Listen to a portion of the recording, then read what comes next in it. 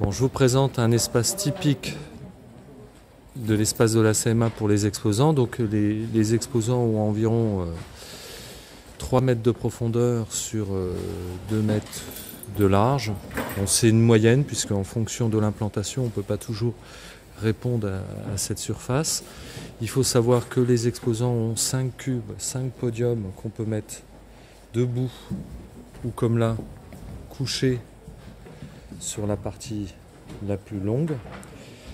5 podiums donc euh, qu'on peut disposer pour mettre des pièces comme ici. Voilà. Euh, deux banquettes. Chaque exposant a deux banquettes, des banquettes dans lesquelles on peut ranger des affaires, notamment des catalogues, tout ce qui n'est pas très beau en fait sur un stand. Les exposants ont également au fond de leur stand un cadre de 2 mètres 50, 2 mètres pardon, qui accueille un poster qui présente l'entreprise. Si vous êtes le long d'une allée, vous, avez, vous bénéficiez en plus de, du côté de la pub chambre de métier. Voilà. Vous avez des cartels. Des cartels. Chaque exposant dispose de cartels. C'est des petites enseignes qu'on met, qu'on met en forme et qu'on imprime par nos soins. Il faut nous transmettre les textes. Vous avez également cette année un système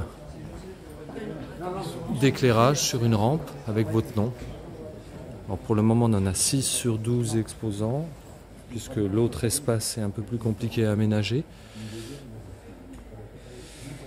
Donc des cartels, des podiums, des bancs, un poster, la signalétique, et puis, vous voyez aussi le catalogue du salon, pas du salon, de l'espace Grand Est qu'on met à votre disposition, dans lesquels chaque entreprise est présentée ici, l'entreprise Varneo.